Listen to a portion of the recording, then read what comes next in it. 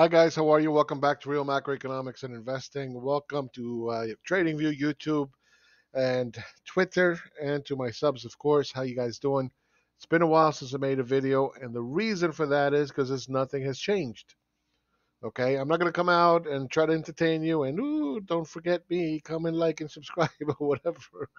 You know, uh, that's not what I do. I leave that to the experts. For me, if there's something to say, I'll say it. And you know, I, I've been on Twitter and I'm sitting there watching every Bitcoiner pumper with their Lambos uh, who never saw the top, but are real uh, good experts at telling you where the bottom is, and they've been telling you the bottom since it was 65 uh, 65,000, right? Every little uh, wiggle in the market. Oh, I know where the bottom is. Yeah, you want to buy, buy, buy, buy, buy, and guess what? It's all the way down to 20,000, and they're doing the same thing, and they're so excited. Why? What are they excited about? I'll show you what they're excited about. They're excited about this. I don't know if you can see it. It's very small, but for whatever reason I don't know why. They're extremely excited about it. and I'm always sitting there going like, huh? why? And uh, yeah, whatever. Uh, you you got to be careful. You can't listen to these clowns. All right, on Twitter. These these are bots. Okay. Uh, so stay away from them. Stay away from them. All right. So, what's going on with the overall market? Nothing. That's what's going on. Um, look at it. A bunch of lower highs, lower lows. Period. End of story. There's nothing magical about it, right? It's very simple. Now, if you guys remember, I said, oh, it's, it's about to puke it up. And that's when I was saying that back here, somewhere in here. I said, well, be careful because this can go like that which is called incredibly bullish, uh, bearish is how I say it.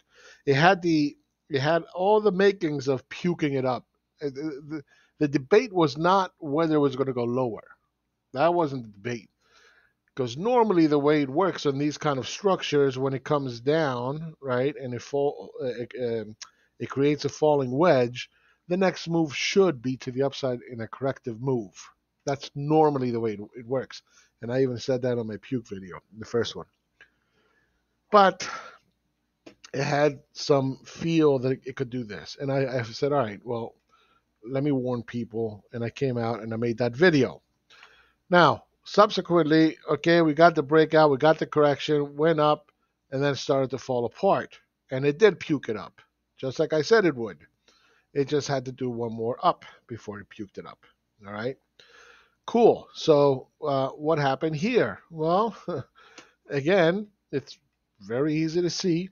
Okay, puked it up, started doing some kind of funky kind of a correction, right into resistance, created this structure. And what happens when the structure points one way? Yes, the next move is to the downside. Okay. So we did get the correction. This now has corrected. We'll see how, how this works out, all right, over the course of time. Can this break out, you know, and, and do a, a bigger corrective move and then start to fall back down? Sure, of course. There's not, I mean, if I if I had a penny every time that it went up and I'm like, no, I'm not convinced, uh, I would be Buffett right? All here, oh, Nick, you're all wrong. Nick, you're wrong. Nick, you're wrong. Wrong, wrong. Every time they, oh, you're wrong. Yeah, but at the end of the day, all you keep doing is going lower, lower, lower, and lower. So they don't come back and say, you were right, you were right, you were right, you were right. Uh, I like those people. They're nice. Anyway, NASDAQ has fallen now about uh, 37%, 38%. Uh, nothing has changed. I'm sorry. And if you guys remember, I said, hey, don't pick bottoms. And I have a whole video on it. And this video was not published, uh, you know, after the fact. This was back when uh, NASDAQ was uh, at 14,400, whatever it was, back on January 21st of this year. All right. So don't uh, don't say, oh, you know, Nick started saying this after the fact. No, I told you in the beginning. Stop picking bottoms because this is going to be ugly. Uh, subsequently, we had a, a, a, move up from there, and I said, "Don't pick bottoms." And they're like, "Look, you're wrong." La la la, bought the bottom, right? and since then, you know, we came all the way down here. Well, we came down like this, but no, okay. So imagine if you would have listened to me and just didn't try to pick bottoms, you got out of the market. Like I say in the in the comments, you know, it's better being out of the market wishing you were in than in the market wishing you were out. Right? That's a that's a great saying, uh, and that's true. Uh, for the Bitcoiners and crypto experts, let me remind you that I took my profits back on November 30th, 2021. And these are the same people that are telling you to pick the bottom. They didn't tell you when to get out, right? Uh, and they have like you know half a million people like subscribing, and they keep pumping them, and they keep going out and buying, and it just keeps going lower. And then they're like, "See, see, I promise you, I was right. Every single tick that goes up, they're like, yeah, see how smart I am. I, I don't know how these people get away with it, but it's it's just amazing." Anyway, uh, yeah, so I, I took my profits back on November 30th, 2021. I'm not back in, and, and there's a good reason for it. Uh, Bitcoin, same thing. I, I got out in, I think, 60s somewhere. But then again, I posted on TradingView December 4th, 2021, that hey, look, it's breaking a key area. Look where we are today. All right. So I don't I don't know what more I can do to try to help people uh, not not not to just fall for these traps. Go for the big waves. Learn how to understand macroeconomics. Learn how the charts work properly, and and try to be more of an investor rather than a trader. Because y- you can trade a thousand times. Since I told you don't try to pick bottoms, and who do you think is going to be better off? The guy that's not in the market or the guy trying to pick bottoms every time. Buy the dip, buy the dip, buy the dip. By the way, do you know why the buy the dip doesn't work? Anybody? I'll tell you why. Because the shorts have been murdered. Murdered years ago. They just destroyed the shorts. There's none left. So you're thinking, well, that's a good thing. Nope, that's a bad thing. Because shorts are automatic buyers. Automatic. I mean, if you don't have shorts, how are you going to pump the market up? How are you going to do it? They're natural buyers. They got to get out at some point. They got to buy if they short. So what you're witnessing is just this fade away, drawn out, you know, full of hopium. Buy the dippers coming in, trying to, you know, push it up, uh, uh, just getting weaker and weaker and weaker until one one point they're going to all puke it up. It's not going to be the shorts. And then when the shorts do come in, because they'll think, oh, now I got it. I understand it. At the end, of course, uh, it gets bad enough. And people are going to try to make up for it by shorting. Then they're going to get ripped apart there because they shorted in the hole too late after the fact. And then we'll have a bottom. But we're not there yet. All right. Uh, somebody asked me to look over at the Dow Jones Industrial Average. Uh, I'll do it for him. Uh, you know, it's the same thing. It's a rounding top, lower highs, lower lows. You know, there's just there's nothing there to talk about. Uh, what I do want to talk about, and we're gonna we're gonna do this. I think it's the first time I'm doing this, but I'll do it. Uh, we're gonna look at the big caps. Okay. So let's start with Apple. And let's go out, let's go to weekly. All right, here's Apple.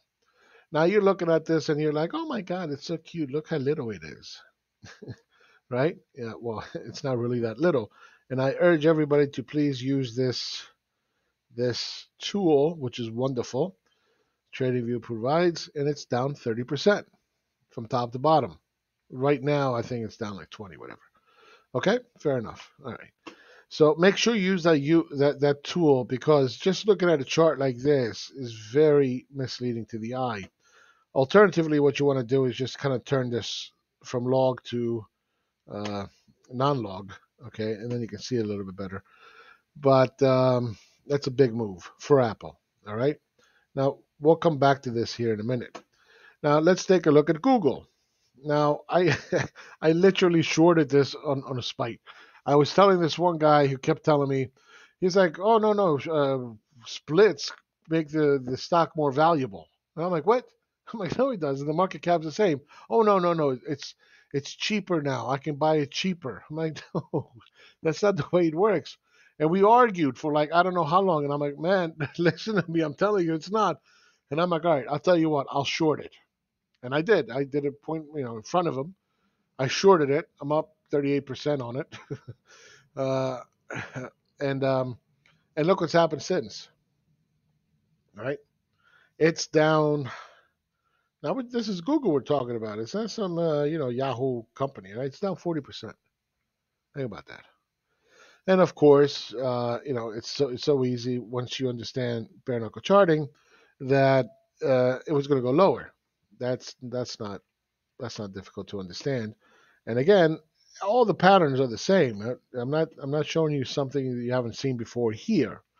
So you have the first kind of trend move. That's one. That's two. That's three. Okay. What's the structure? Pointing upwards. What's the next move? Down. And guess what? That's exactly what happened. Magic.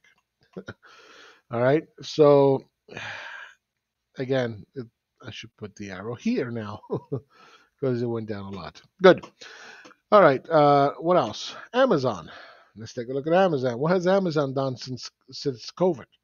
It's done nothing. Okay, it's done nothing. And here's a weekly chart. Sorry, I'm in a hotel. I don't even know if this video is going to upload, but more or less since uh, you know July, it's done nothing. It's just gone sideways, and now it's starting to fade fade away. And it got lower highs and a, a couple lower lows. All right, so that that's not looking good. Uh, let's take a look at Nvidia. All right, so Nvidia had a nice little move to the upside. It was great. In fact, uh, I, I, loved Nvidia to a point. Took profits, and we see what it's done since. And again, use their magic little tool they have there, down 69%. Or you can turn off the log. That's disastrous, right? There's more. Meta. Absolute disaster area. Right? And again, this was not unknown, at least not to me. And you can see it. Right? One, two, three, boom. Yes, that's the way markets move. Um, so it's down 75, I think. Let's check it. Yep, 75%. Take it out of log. Look at that. Right? Wow. Wow. All right, Tesla, the disaster area. This is the next AOL. what, what a disaster. So, again, make sure you take your handy little thing. Right? And that's down uh, 52%. nice little head and shoulders right at the top. Oh, oh, oh. So remember that I did say short this back oh, a year and a half ago, something like that. Unfortunately, the chart that I did post, uh, it doesn't adjust for splits, so it kind of looks really, you know, funky. But um, I did I did say uh, short it right up here. Okay, right right at the top. So magic on that too. Um, what else? All right, here I want to talk about. I want to kind of really look at this chart here. Here's my Microsoft. And Microsoft back in 2000, this is what it looked like. All right. That's what it looked like. Everybody was so bullish on Microsoft. Oh, you don't understand. Internet is the future. Microsoft has market share. Computers are the future. Okay, fair enough. Do you know how long it took for Microsoft to recover from that? Anybody? Want to take a guess? All right. It took about 16 years after dropping 67% or more and lingered about, I don't know, down 50% from those highs for 16 years. All right, 16. one six. Look at that. From top to bottom, it dropped 66%, and then the vast majority of the time, it, it was about 56% down. Are you prepared to buy the dip and hold for 16 years? If you're not, don't buy the dip. Okay? Don't buy the dip. And then finally, after 16 years, it started to go up. So now what? Well, it's back in correction, right? You get the erection, you get the correction. Uh, so there's nothing here that is signaling to me that um, we are at the bottom. It's not it's not rocket science. It's it's a lot easier than you think, but uh, you got to have discipline. You got to have the right temperament. You have to have the right understanding of how charts works, how macroeconomics works, and then you want to apply that correctly. Um, and then just let the markets, let the charts tell you what's going on. Don't tell the charts what's going on. Don't tell the economy what's going on. Because I remember I kept saying, you know, when the market was going up, I'm like, yeah, this is crap. They're like, well, you don't understand, Nick. The markets don't care about the economy. I'm like, yeah, okay. Good luck with that. Nope, it's going up every day. You're wrong. right? So now everybody's like, oh, recession is coming. Oh, the Fed pivot. Okay. And guess what? The market is going down, but the economy is not. Okay. And so they're wrong again. Just like they were wrong with, oh, inflation, don't worry about it. My friend, it's nothing. It's uh, just transitory. Yes, yes, supply chains. It's no problem. okay. Wrong in that too. okay. So uh, they're always wrong. You know, whenever you see some big headline, rarely are they going to be right. So don't fall for that stuff. Okay, there's there's a lot more to it. So uh, again, if I'm not making videos, it's because I'm not trying to entertain you. I'm trying to give you the best possible analysis, and sometimes not to say anything, just keep your mouth buttoned up and shut up and don't say too much is the best way because I'll give you good analysis um, and and accurate as accurate as I can possibly make it. So that's about it. There's nothing here that's signaling it's a bottom. Doesn't mean it can't be. Anything can happen. Uh, but to me, I don't see anything value. And uh, again, I'll leave it with this.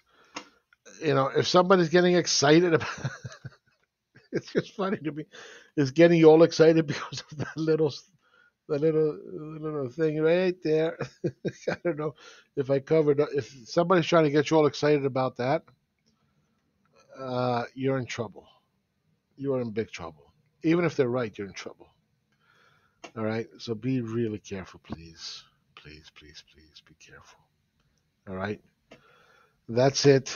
Take good care. Uh, I'll talk to you guys uh, soon, I guess. And uh, thank you for support. Thank you to TradingView. Thank you to you guys. And I'll talk to you soon. Bye bye.